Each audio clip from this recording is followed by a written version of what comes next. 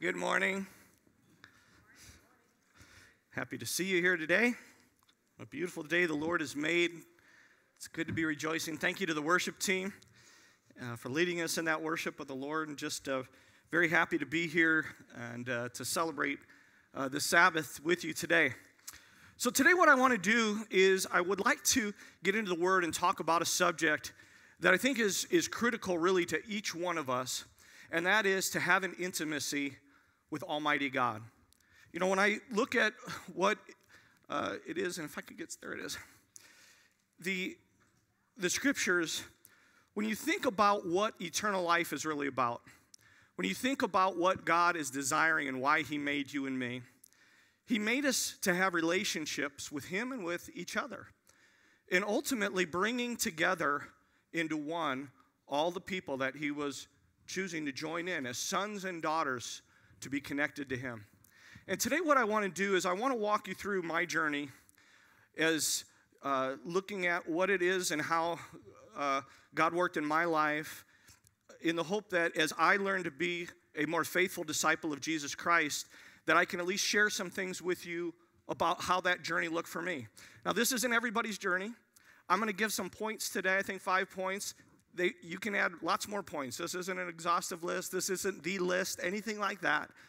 But when you talk about how do you build your relationship with God, it's so important that we remember that the Great Commission is to go make disciples. It, it's not just to get a statement, but to get a walk, to say, make disciples of all nations, baptizing them in the name of the Father, Son, and Holy Spirit, teaching them to observe all things I've commanded. And lo, I'm with you always to the end of the age. And so, hopefully, when you come here, you find that being expressed in that we desire to be the people of God who keep the commandments of God and the faith of Jesus, and we try to walk our ways being humble before Him. And all of that should really spring from a relationship that we have with Him because it's by the revelation of who God is that we are transformed. It's not about a discipline, it's not about a religious practice. It all comes from a relationship that produces these changes, that produces this transformation in our lives. And as a person who loved disciplines as a kid and rules and doing the right things, it, it, took me, it took me in good places, but it didn't take me where I needed to go. I searched the scriptures daily in them, hoping to find eternal life, but they but I needed to go all the way to Jesus, the one who actually could give me eternal life. And so that's what we're talking about today when we talk about the intimacy with the Almighty, to have a relationship with God where we are intimate with Him. So, first point, I clicked too many times there, but the first thing I want to talk to you about is listen. How do you listen? Turn with me over to the book of John, chapter 10. John, chapter 10. And notice with me in John chapter 10, it says this in John chapter 10, beginning in verse 1 Most assuredly I say to you, this is Jesus speaking, he who does not enter the sheepfold by the door, but climbs up some other way, the same is a thief and a robber. But he who enters by the door is the shepherd of the sheep. To him the doorkeeper opens, and the sheep hear his voice and he calls his own sheep by name and leads them out. And when he brings out his own sheep, he goes before them, and the sheep follow him, for they know his voice. Now, this relationship of intimacy is like that of a shepherd and a sheep. He has his own fold, he has those that he tends to, that he watches over. When you receive the calling of Jesus Christ, you were called to know the shepherd. And he says that he is the good shepherd. Notice in verse 14, I am the good shepherd, uh, the good shepherd, and I know my sheep and am known by my own. Don't you just love the possession he says there? I am known by my own. There's a relationship here of intimacy, of depth. It is not just an acquaintance. We don't just know about Jesus, we know Jesus. You know, this is one of the things of life. We, we can think we know somebody, but we don't. We, we all know who Donald Trump is, but do we really know him? President Biden, we all know him, but do we really know him? I would dare say none of us in this room really know either of those two men. We can know about Abraham Lincoln, right? We can know about George Washington. Did we really know them? Do we ever have experience with them? And the thing is, sometimes we can read in the Bible about Jesus and know about Jesus, but do we really know him? And that's what we're talking about today. Intimacy goes beyond just knowing about, it goes to knowing the person and, and having that experience. Well, how does that begin? It begins with conversation, it begins with listening. Now, in my life personally, this began for me as a teenager. I've told you the story many times about how God started to work in my life when I was 15 years old. And I spent the summer playing golf in the, the morning and the daytime and going home at night and reading my Bible. And it was the first time I can say that, it, even though I'd been taught about Jesus my whole life, where it started to become intimate. Something happened. The, the connection was I was listening to what he said really for the first time in my life, and it wasn't matching what I heard about him, what I was taught about him. And suddenly, the things of him and the things that I was understanding about his ways became very different. I remember reading about how the Father had authority over the Son, that Jesus called the Father my God. That didn't go with the, the doctrinal teaching that I had as a kid, where the Father, Son, and Holy Spirit were equal in authority and power.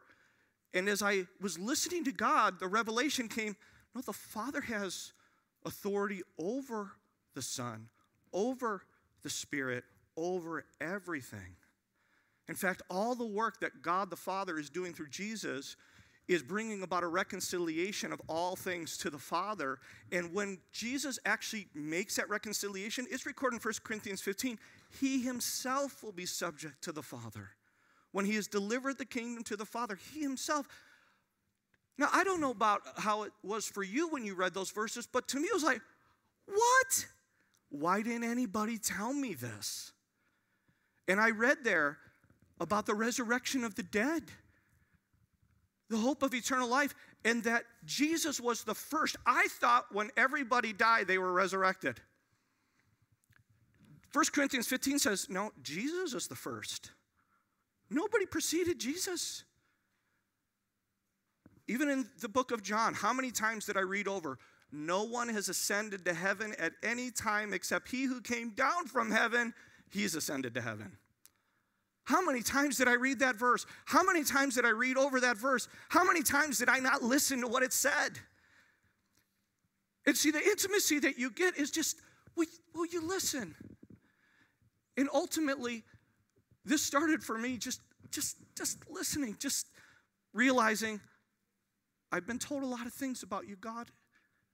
It just hasn't been true. It's not what you said. Isn't it awful in our relationships, whether it's in a marriage relationship or a friendship, where we just don't take the time to listen to one another? How frustrating is that? Where you say, You're not, you're not really listening. You, you, you want to hear me say something you want to hear, but that's not what I'm communicating.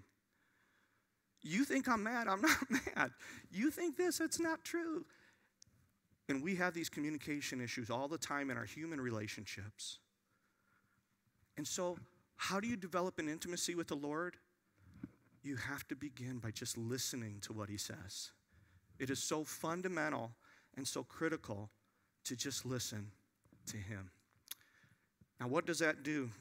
Next thing I want to talk about here is believe. Notice, uh, well, actually, let me just quote it to you. So, Romans 10, verse 17, a very familiar verse, it says, Faith comes by hearing and hearing by the word of God.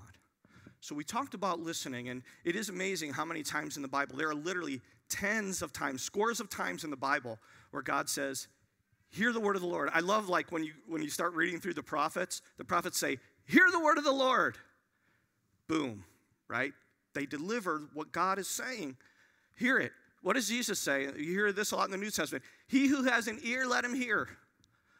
Why? Because listening can develop faith. See, if we're listening to hear what we want to hear, if we try to make God in our image and make God have our thoughts of what it should be, well, that's not intimacy.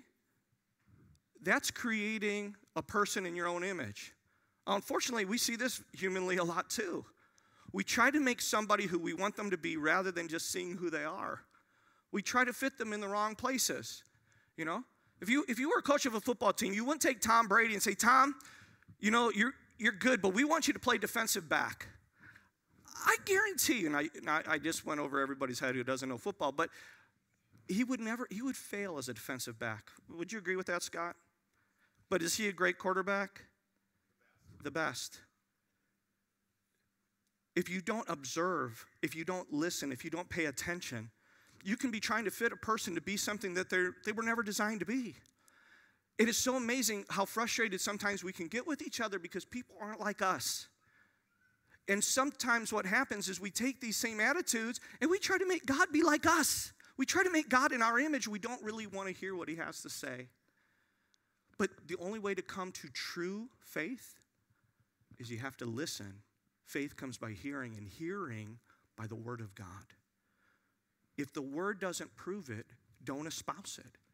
Don't say this is what God says. Don't say this is who God is. Don't say this is God's way if we haven't. Because intimacy is all about learning who He is and that listening. Hebrews 11, verse 6 says, Without faith, it is impossible to please Him. We must believe in Him that He is and that He's a rewarder of those who diligently seek Him. In other words, the whole process is to say, I'm listening and now I'm believing. Isn't that really what we do in every relationship we have humanly as well? The only way to get to intimacy is you start at the beginning to say, let's spend time together where there's communication, there's walking together a little bit, spending some time together. And what are you really doing when that you begin a relationship? Aren't you kind of listening for the ringing of truth, for the connection, for the things that, that you would want to be in a relationship that you could have intimacy in? You see, the, the, the point is that with God, it's not just a matter of knowing, it's not just a matter of listening to know, it's a matter of listening to believe. Do we hear his voice? See, Jesus said, My sheep hear my voice, they know my voice. They know me, and I know my own. Because there's a connection that is deeper than just the about, the facts of Jesus. It's knowing who he is. And that happens because you believe what you hear. Now, all of us have had to have this challenge in life. Do we believe what we hear? I'll never forget the time where I was in my room and God was teaching me as a teenager to listen. And the listening brought me to this point do I believe this? Because the challenge is, I was taught a certain number of things religiously. I was taught things about God that I, I, I, I was now being challenged when I actually listened to what God said. And the question is am I going to believe the traditions that I've been taught, or am I going to believe what the Bible says? How fundamental is that to intimacy? Because if I had said, I'm just going to believe what I've always believed, it would have been rejecting what God had said to me and that I already listened to and I heard. Now, this is something that we all do. We all enter into listening to God with our own biases. In fact, if, if, if, if I ever think that I'm, I'm hearing everything correctly, I just, I just slap myself and say, You're silly. You wake up. My prayer when I go in is just to say, God, let me hear your voice. Let me discover you in this. Let me hear the truth. You see, there is a heart. It's more than just reading. The Pharisees knew this very well. They knew the law, they knew the rules, but they didn't even know the one who, who made the rules when he walked in their midst. So, what a shame that would be for us to be going through motions of saying we have a relationship with Jesus, but we don't even really know who He is. See, that's why intimacy with the Almighty is so very important. Our Father has spoken to us of Himself through His Son, Jesus Christ, in these last days that we would know Him. We become acquainted with Him. And it is Jesus who ushers us into this relationship with the Father. And, and who is Jesus? He, as it says in Hebrews, is the express image of the Father. So that He can let us know. He says, Hey, if you've seen me, you've seen the Father. I don't do anything ex- apart from my Father. But the invitation is to be intimate with Him so that we don't do things apart from our Father. That we come to engage in the will of God day by day to the thing that we've been called to, to have a relationship with God, to walk in His ways. And so, for me, it was a choice to say, okay, I see what it says, now will I believe Him? I believe that if I had said no to that, the relationship would have stopped right there. I mean, how effective would it be if I'm getting to know a person and if Stephanie and I were, you know, becoming intimate when we were dating and, and progressing toward marriage, if I just said, you know what, I really just don't believe you. I think it kind of kind of stops the relationship right there, doesn't it? It just really kind of ends what's going on. Because do you want to be engaged with somebody that's saying unwilling to believe? God says, without faith, it's impossible to please me. If you don't believe me, how, how do we go forward in this? And ultimately, that was really what happened in the Garden of Eden when mankind went astray. It was a belief issue. Yes, it bore out in the disobedience to what God commanded, but it was a faith issue that caused it to happen because they believed what the serpent said instead of God. They believed the wrong one. So, why is it important to be intimate with God? Because we want to flee the devil and all his ways, leaving it all behind for the glorious things of God. And we must listen and we must believe. And that belief will then lead to trust. Turn with me over to Proverbs 3, verses 5 and 6. Very familiar verses, but I want to look at them in this context today of intimacy with the Almighty. In Proverbs chapter 3, verses 5 to 6. Proverbs 3, verses 5 to 6. Trust in Yahweh with all your heart. And anytime you see the Lord there in all caps, and you're going to see it about 6,000 times in the Old Testament, every time you see the four caps for uh, Lord or the three capitals, all capital letters for God, just know in your mind that is the name of God. It's a shame. You know, if you go grab a Spanish Bible, they put Jehovah in there. You look around at other languages that the Bible's translated, they all have the name of God there. Except the English. I don't understand it. We just don't, you know. And I want you to know that because there's an intimacy of relationship here too when you know somebody's name. If you never use a person's name, it feels less intimate, right? If I say hello, Phil, right? It's better than just hello. Hello, Phil, right? It just it speaks something louder than just the hellos. And so our Father in heaven has given us this understanding to trust in Yahweh, not another God, not Baal gods, not the gods of this world, not Ishtar, not anything else but the true living God. Trust in Yahweh with all your heart. Lean not on your own understanding. In all your ways, acknowledge him, and he shall direct your paths. Trust will reveal itself in the way you walk. It's what you do. So, the first time I went through the Bible, I had, it was a challenge to me in regard to keeping God's commandments, and specifically, it was about the Sabbath day. But really, it wasn't just about the Sabbath day, it was the commandments as well. I had been taught my whole life to keep God's commandments. The question I had when I was in school, going to a private school, was hey, how come we say, let's do all the commandments except this one about keeping the Sabbath day holy?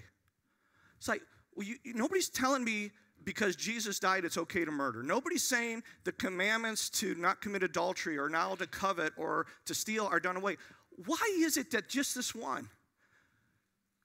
And as a kid, this was my question, and and, and, it, and there was a, and it, I was told, well, it got changed. Oh, great, it got changed. I thought the change was in here, and as a kid, I accepted the change. Now, what was interesting as I got older and started asking the question, then it was like, well, you don't have to keep any of the commandments. You don't? I thought we've been learning to keep the commandments. I know there's a verse in the Bible that says, if you love me, you should keep my commandments. I started hearing all these other voices. And here's the thing you start listening to what God says and what other people say. You choose who you believe, and then who do you trust? Go with it. There's no,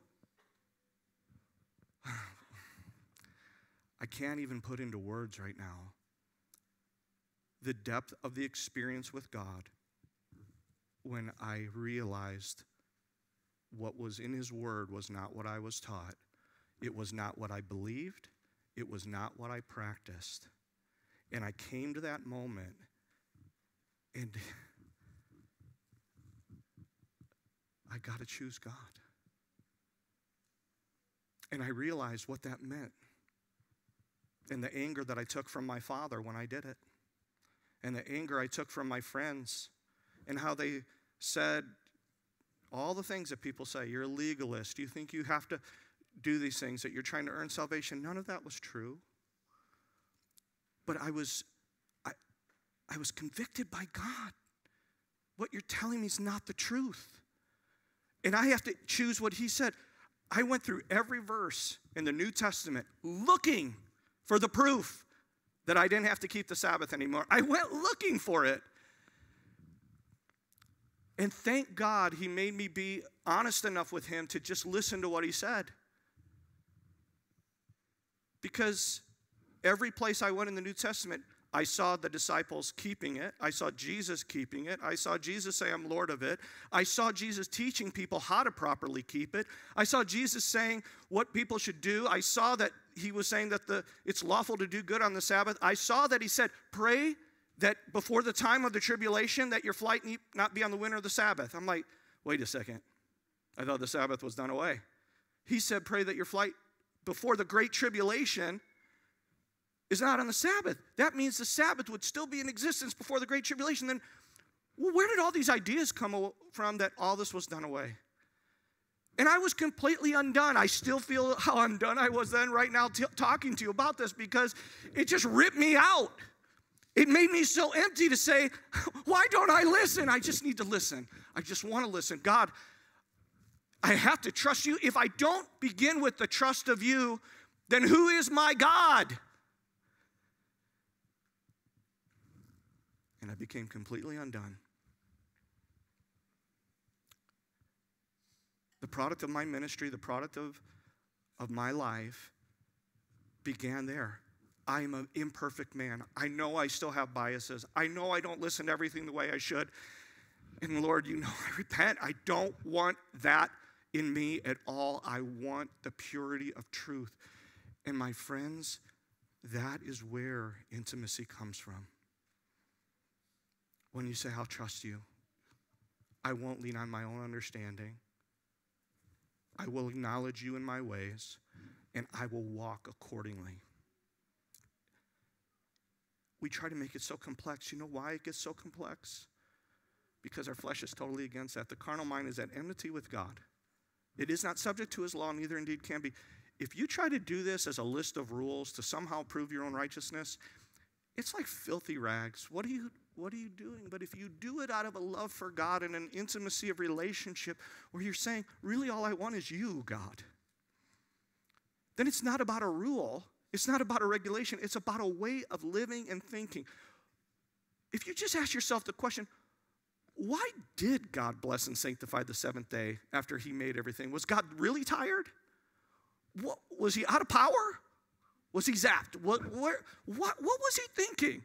And then Jesus said, Hey, the Sabbath was made for man. Jesus tells you why he made it. What was he thinking about? He was thinking about you and me. What was he thinking about us? Guys, we need to stop what we would normally do and spend time with God. We need to stop. And all the people that can say, hey, you can spend time with God every day of the week, absolutely. I can worship God any day of the week, absolutely. Guys, Sunday's not off limits. Some people want to say Sabbath or Sunday. I never read anything about that anywhere. God never spoke that to me. Maybe you could show me where that is in the scripture. That somehow worshiping God on a Sunday is somehow a negative. I think if you worship God any day of the week, because what God shows us is that you could come and bring offerings to Him. He commanded them every morning and every evening, every day. And then He says, and on the Sabbath, bring the morning and the evening, and then bring the Sabbath offerings in addition to that. He never says, don't come and worship me. Never. That, where these thinkings come from man arguments. And what happens is we start listening to God and then we, we twist it another way. Because we're now anti what somebody else taught us, we then reject the truth that's plainly written. We come up with a whole new doctrine that's man made as well. So you got to go back and listen. Believe what he says, trust in it to take action on it. It never stops happening. Can you just say, well, hey, you know, I think, Stephanie, you and I, we've hit the pinnacle of intimacy. Let's just write out the rest of our lives never talking to each other again, never listening. How intimate would we be 10 years from now? No, I don't think so. You know, you can connect in relationships that you leave go for a while, but I wouldn't necessarily call them intimate because intimacy implies you know what's going on in the day to day, in the walk, in the relationship. And that is part of the beauty of what builds when you start listening to someone, when you believe in them, and you trust what they say and start acting on it. Many of us have been injured in our lives because we started down this path with dads or moms or, or, or friends or, or, people that maybe we even got married to. And it went very wrong because we, we sin. We fall short of God's glory. We break the trust so often. And that's why forgiveness is so essential. But the one who never sinned took on all sin that we might become the righteousness of God and be found in Him to realize that every intimate relationship we have, whether it's with God or with each other, is built upon a foundation of forgiveness through Jesus Christ. It's that work that God did through Him that saves all of our relationships. Because if I hurt Chris and Chris says, You really hurt me, David, I have to say, Chris, I'm so sorry. Forgive me. And I, I know you would. That's why I chose you. That's why I chose you. I wasn't sure about Larry behind you, but I, I knew that if I asked you, you would give me the right answer. No, I love Larry. I know you forgive me, Larry. right? so, but you realize that trust, there's a dependency there. Do you ever think about the relationship? I rely on the fact that I'm going to need Stephanie to forgive me. I'm going to need Scott to forgive me. I'm going to need Chris to forgive me. Frankly, if you spend enough time with me, I'm going to need you to forgive me. I make mistakes all the time. I sin and fall short of the glory of God. I wish I didn't. But if I'm really being honest and, and, and being intimate, I sin. I think wrong things. I, I can be so selfish. And, and I know that. And God knows that. I trust that He'll forgive me. And in our relationships, we have to rely on each other to forgive one another. How will we ever become intimate and one with God if we can't learn the fundamental that every relationship we have must be built on a foundation of forgiveness? And as Christ has given to you, so you also must do. And you realize that when we fail to, to forgive others, we're really just pushing away the forgiveness that God gives to us. We have to learn how to do this. And there's probably no better relationship for those of you who are married than in marriage. And if not, then in friendships and family relationships. We all have the opportunities to walk and to understand what this is. So for me, the first action that I took was I said, I'm no longer cutting people's grass on the Sabbath. I had, I had my own little landscape business since I was like 10 years old. It's my first business that I started. I went to people and said, Would you let me cut your grass for $5? And they did. People let me cut their grass. Well, when I got to 15, I couldn't do it anymore. Fortunately, God had blessed me with a paper route, and the paper was a daily delivery every day except Saturday. I was like, never was an issue. So I had my grass cutting business. In the fall, I had my leaf raking business. In the winter, I had my snow shoveling business. And my busiest day through all of that was always Saturdays, but no more. I wasn't going to do it anymore. I'm going to rest. I'm going to spend time with God. I'm going to learn about this. Now, I will tell you that the beginning of intimacy was awkward. It was awkward because I didn't necessarily understand why I was doing what I was doing. I knew he had said to rest. I knew he had said to remember. I knew he said to keep it holy. Had no idea what that really meant. But that's kind of what relationship is, isn't it? You listen to understand, and the more you understand, the better you are at it. I used to be the worst husband, and I'm only now slightly above the worst husband because I wasn't a very good listener. My wife had to really like put her hand up and say, "Would you stop bringing me flowers and jewelry? I'm not into things." But when we were in Greece, she tested me. She said, she, we were looking at all this jewelry, and she said, There's probably only one thing in this whole case that I even would wear that I even like. What is it? And I was like, Oh, no. Oh, oh no. The pressure of intimacy. It's a little awkward. Do I know the answers? I gave her two choices, and it was one of them. So I was happy. So, yes, thank you. I, have listened. I, that, I, but I blew it for so many years. She's like, stop bringing me jewelry I will never wear. So the point is that I have grown with time, but in the relationship with God, it's the same thing the more you do it, the more you understand it. A good understanding have all those who keep thy commandments. What does that mean? It's like you trust me enough to start into it. If you're going to go with me, David, I'm going to show you what it means.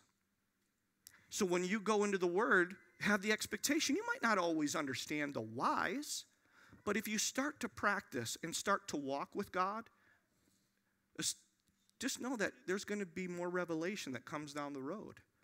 And sometimes, just like with the intimacy you develop with your child, sometimes that intimacy and trust that you build with a child, you start down a path of form that is really not about the form, it gets to the substance.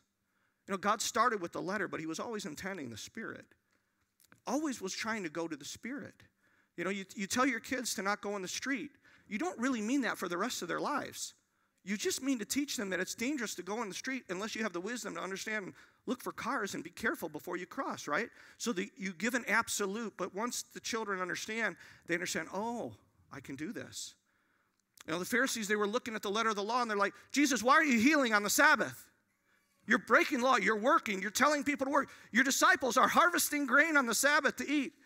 Jesus, like, I think if you really understood who I am and my Father, that I desire mercy and not sacrifice, you wouldn't be judging people who are hungry who are sick, who are hurting, who need healing. You wouldn't be looking at that.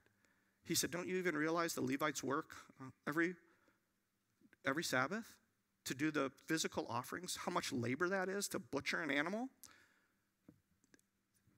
That's not what it was about. It was about coming back to God. The whole law was about coming back to God. It was always about discovering God, discovering His love, his justice, his mercy, and his faithfulness. If you don't see that in the law, you've missed it. If you're not giving that to others, you've missed it. So, trust is learning to listen and allowing for the growth and the development in the relationship to realize what it's really about. Sometimes there are steps. You teach a child to say thank you. They don't know what thank you means when you start teaching them thank you. Say thank you. And eventually it's thank you, right? They start saying it. Say, please, peas. Just get them saying peas. They'll learn one day it's a food, but start them at peas. They'll work it to please, and then they'll figure out what please means. You have to sometimes just start down a path to teach what it's really about. But that's trust. You're teaching trust. God teaches trust and that intimacy with Him. The next thing is the pursuit. Turn with me to Psalm 84, verse 1. Psalm 84, verse 1. I love Psalm 84. It's one of my favorite chapters. If you're tired of me reading from it, I'm sorry, but we're going back to Psalm 84. It is so beautiful, and it has meant personally so much to me in my life because one of the things that happened through this process is that when you choose God, your road can be lonely. Your road can be lonely. I don't know what it was like for John the Baptist, but it looked lonely. Elijah running away because he thought he was the only one. Lonely. Didn't mean there weren't other believers, didn't mean there weren't others God was working with, but sometimes it's lonely. But you see in the loneliness, what you're really doing is learning to appreciate you only truly need one. I want you to think about all of us in this room today. What brought us to this place? I can look around and, and I'm saying, before I met you here, I don't see that many people in this room that I knew before. We came because we knew one. The connection that we have is because of a love for God. It was a desire to walk in his ways and be with him, to have an intimacy with him, to say, I trust you. That's what brings us to this place. So I have relationships with a lot of you now, and hopefully growing toward intimacy in many different ways and friendships and you know that we, we become accountable to each other and we walk together. That all started because of god. You know the one and he brings his people together. He is the center gathering point for all of us. And it's the most sure foundation and reason to gather that you will ever find because he's eternal and his ways are eternal and as we meet around christ we all will be ushered into one. The beautiful promise of the resurrection of the dead. One of the things I didn't know growing up, but I learned 1 Thessalonians 4 that the trumpet would sound, that he would descend with a shout with the voice of an archangel. The dead in Christ would rise first. Those who are alive and remain would rise up to meet the Lord in the air, and thus we would always be with the Lord. You realize that every time we come together here, what we're really doing is gathering around the Lord and it brings us together in relationship with each other. Because the intimacy that God wants us to have with Him is the intimacy He wants us to learn how to have with others.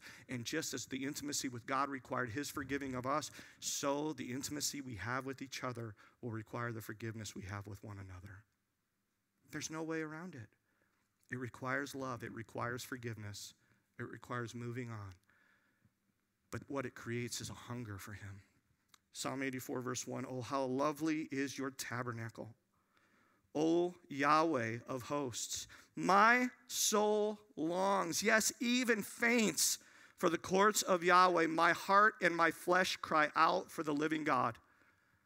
I don't want anything but you. And this is the amazing part about intimacy. When you go through this process of listening to God, believing what you read, trusting in what he says in order to start living by it, you get so hungry.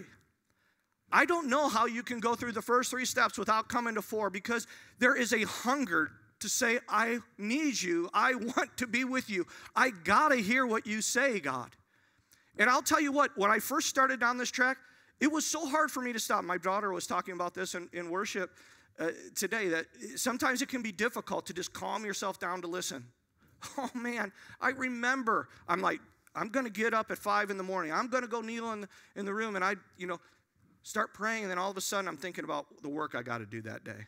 I'm already thinking about that. I'm like, what's wrong with me? Stop. Get back. Start praying again. Oh, work this, work that. Oh, stop. What?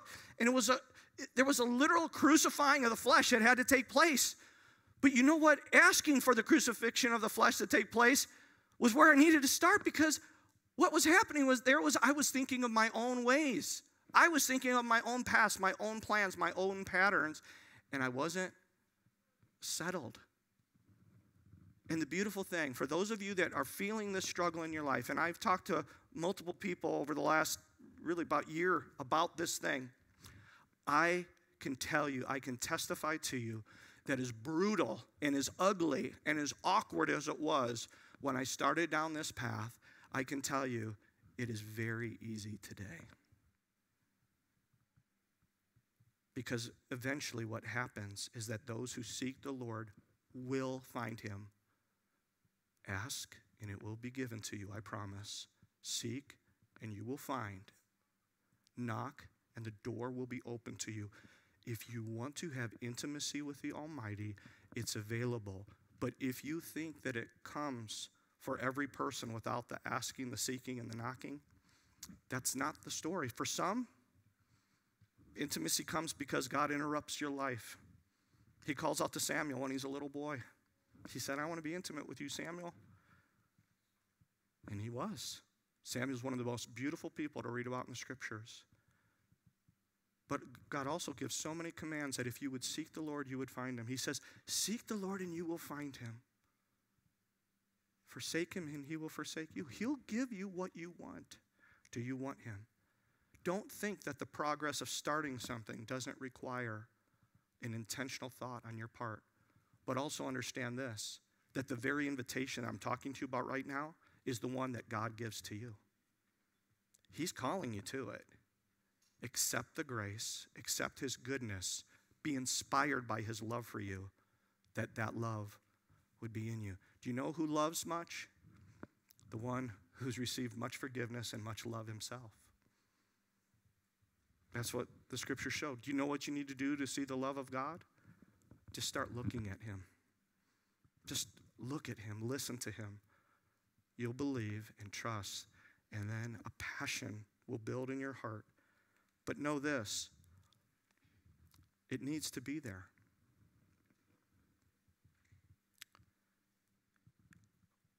What would a relationship be if you had to make somebody spend time with you? If you knew that the only reason they're here is because someone else is telling them they had to, or they feel that they should, but they don't really want to be here. You know, that comes out every time, right? When somebody doesn't want to really sit down and talk to you in a workplace or in a meal or at a gathering, you kind of know, right? Yeah, you don't have to be God to understand that sometimes you can just tell, they ain't that into me. It's okay. They have other people they want to talk to, they have other people they can connect with. It's okay. It's all right. But where are we with God? When we don't find our hearts pursuing God, we have to go back to these first three points and say, what am I missing here? Because if you've ever really fallen in love with somebody, don't you want to spend time with them? Don't you find it amazing that two people can be living their lives, not spending time together, not knowing each other, and then all of a sudden, boom, they connect. There's attraction, there's connection. They start talking, they're listening, they're believing in one another. They start this relationship of trust, they're growing it together, and all of a sudden they'll tell you six months later, yeah, we're best friends. I only want to spend time with them. We talk every day, every morning, every night. You didn't even know each other six months ago. Yeah, but they started something. They started something that changed what they did, the way they lived.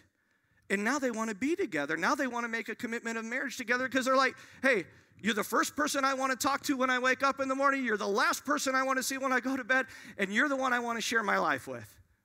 Right? Right? I'm asking, I'm asking the people with the most marriage experience in this whole room right here what it's like.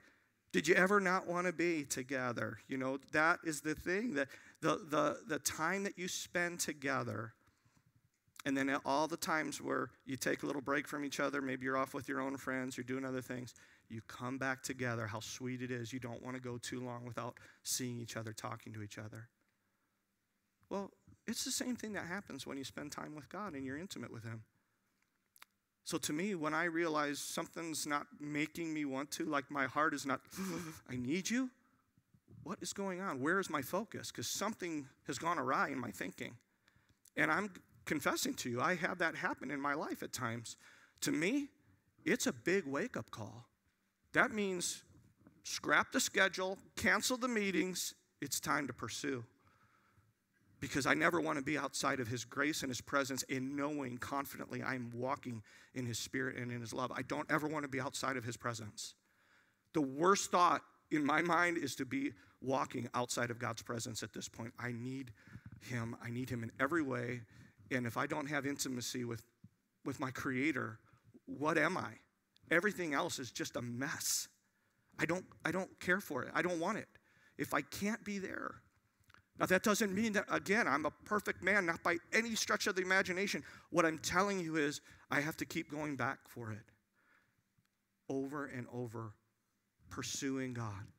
And so, with my schedule and the, and the things that I do and, and work that I have and, and responsibilities I have to people, I have to plan. I have to, I, I book time, I make dates. I say, this is our time, this is our meeting. And as much as it would be a meeting of somebody I have at work, I have to learn to keep the meetings with my Lord the same way because I just need time. And I do that because I want to. I want to make those meetings, I want to make those times. Pursuing God. Notice what he says here in, in Psalm uh, 84, verse 10.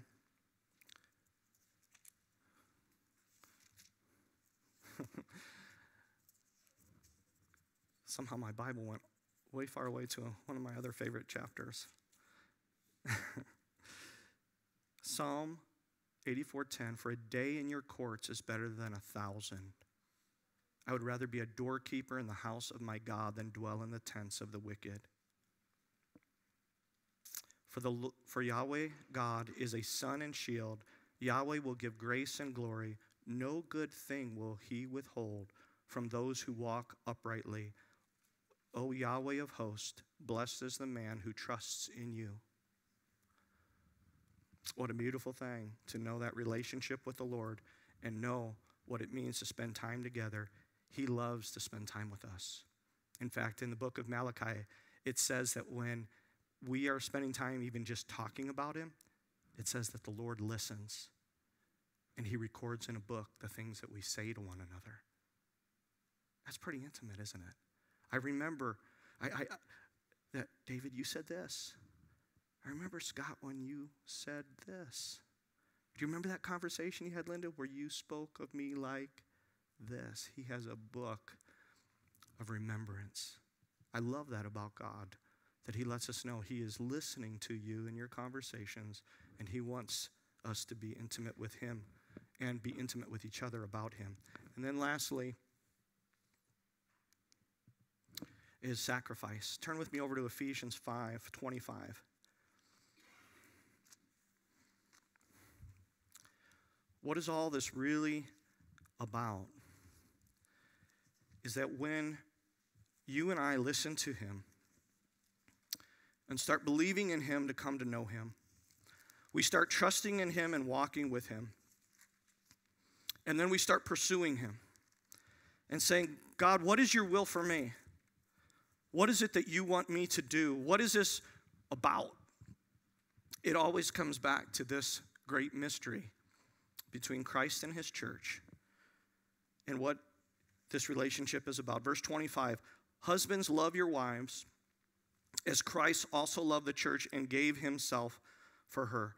He gave himself for us.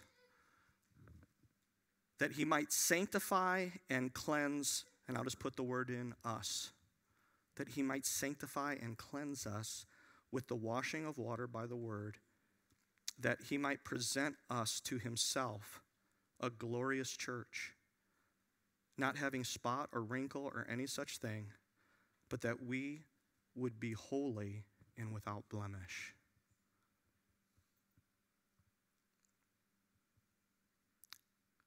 Does our husband know about our blemishes? Does our husband know the things that we think? Does the husband know the things that we like, but we dislike? Does the husband know the desires of our heart? And that was the psalm I turned to, because he gives the desires of the heart. Does the husband know? And the answer is yes, he does. See, that's the thing that you discover in marriage. Intimacy is knowing the whole person. You know the, the wonderful talents. You know the things that you just love. And you learn about the things that you don't so much love. You learn about blemishes, you learn about spots. But the husband who loves his wife learns that all those things are to be washed away. It is a matter of coming to love not in slices, but in the whole. Human beings, we love to love people in slices. When you're doing what I like, I love you so much, honey.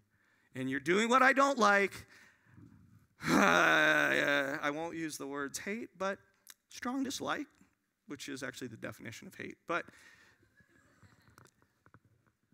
the, the thing is, if those are the swings of emotions, one of the, the greatest revelations my wife and I had is that when we have things that we have honest disagreements on and things that we are not happy with each other about, that to think that that should wreck the whole relationship is, is actually kind of a ridiculous, self serving thought. What's that about? What kind of faithfulness of, is that? You know, what's so amazing is David, King David, was so intimate with the Lord and then he didn't go out to war when men and kings go to make war. He stayed back, seems like he's bored, looking out the window, sees Bathsheba, lusts after Bathsheba, commits adultery with Bathsheba, gets Bathsheba pregnant, brings home the husband to try to make it look like he got her pregnant. The husband's so honorable, he won't do that. Sends him back to the field, puts him in the front line so he'll die. And then Bathsheba is pregnant and doesn't look like King David did it. And now, uh, Uriah? Oh man, I'm so old right now with names. Please forgive me. If, if I forget your name, I'm so sorry. I'm just forgetting names left and right. Sends Uriah back out. He's dead. Made it look like it was his. But God knew the whole time. You know why? Because God's intimate with David. You're not hiding anything from this relationship. Even if you don't choose to be intimate with God, He's intimate with you. He knows your comings and your going. He knows the thing you're going to say before you even say it. He knows all who you are. Why fight it? Why not just say, because you're my God, you, you deserve the right to know everything that's going on. You made me. So here is David in this place. Does God just say, That's it, I'm killing you? That's it, you're done. That's it, I'm taking your kingdom from you. That's it, that's it. He sent a prophet with the story of the sheep. He knew that David would judge with judgment and justice, rendering not only according to the law, but according to what was right. And then Nathan said, The man is you. And what did David do? He listened. He reflected. He repented. You can read Psalm 51 on your own later. He didn't stop becoming God's kid because of the horrendous things he did. God knew what he had done. Did he pay a price? Oh, yes. Yes, he paid a big price. It didn't mean that all the consequences went away, but the relationship when he says, and please take not your Holy Spirit from me. Restore to me the joy of your salvation. You see, that's for every one of us here. That's the kind of love that we have in God, that God has for us to take us to those places. The sacrifice because his desire is to present us without blemish, without spot, without wrinkle, to make us, as it says here in verse 27, that we would be holy. Don't you love that? The whole point of intimacy is so that we become holy. So, husbands ought to love their wives, verse 28, as their own bodies. He who loves his wife loves himself, just how Jesus loved us. Why would he die? Because he loves us like he loves himself. And notice verse 30 For we are members of his body, of his flesh, and of his bones. It goes back to Genesis 2. When Adam saw the woman Eve made for the first time, and he looked and said, Bone of my bones and flesh of my flesh. There's no separation between us. We're one. And God says here, verse 31 For this reason, a man leaves his father and mother.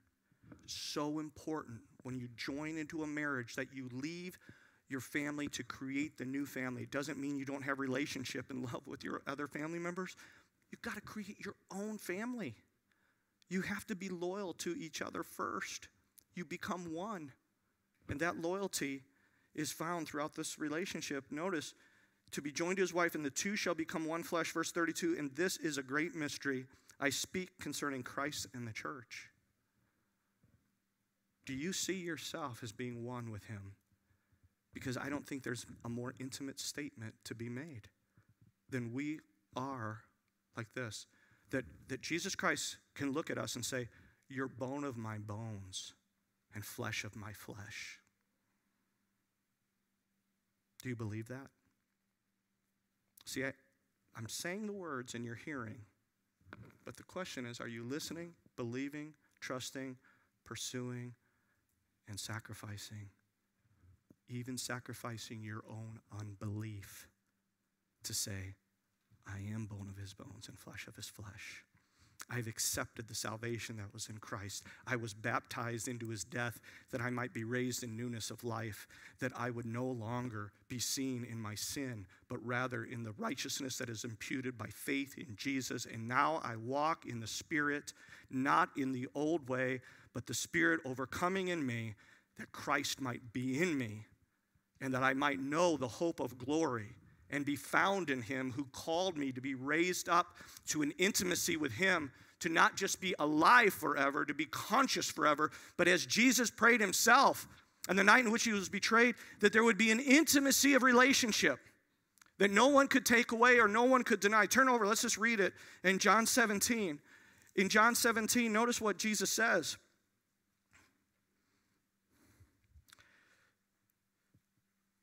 Jesus said in verse 2, You have given him, that is, Father, you've given to me, to Jesus, authority over all flesh, that, that, that I should give eternal life to as many as you have given me. And notice what he says, and this is eternal life. This is John 17 and verse 3.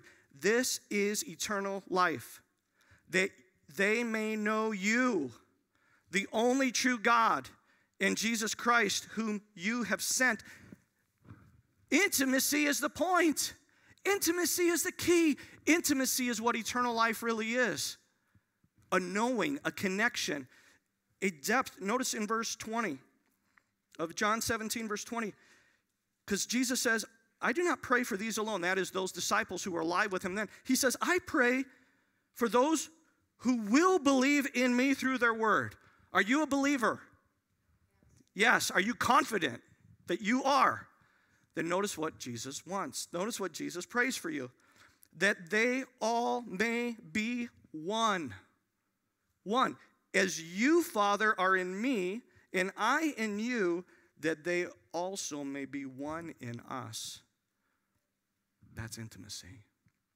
Everything that happens in the intimacy with the Father should be happening in us, that the world may believe that you have sent me, and the glory which you gave me Notice what he says I've given them that they may be one, just as we are one, I in them, and you in me, that they may be made perfect in one, that the world may know that you have sent me and have loved them as you have loved me. Perfect intimacy, perfect oneness, that the very oneness shared between the Father and the Son would be shared with us as well, that we all would be made one together. A perfectly beautiful, intimate relationship. That's why you were made. You were created to have a relationship with God that is so intimate. And really, what is life if there is no intimacy with God? It's just being conscious, it's being the walking dead. But you weren't made for that. You were made to have life and have it more abundantly. Turn over with me to 1 Corinthians chapter 10. 1 Corinthians chapter 10.